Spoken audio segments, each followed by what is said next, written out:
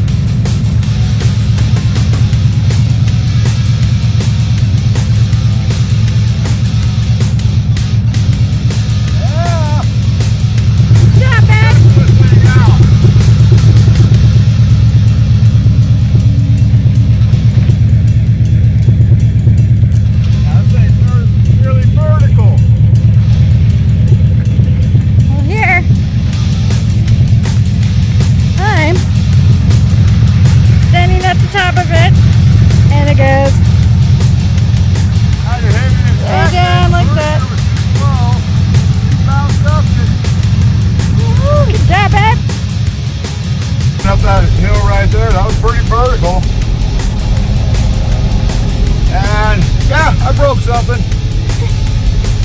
I have extended brake lines, but I had done, I did a shackle swap. I removed some leaf springs, changed the socks. I got a little bit more flex out of this now, probably two or three more inches. Well, the brake line is too short and it stretched it and broke it. So, we're gonna go home with no brakes. Yeah!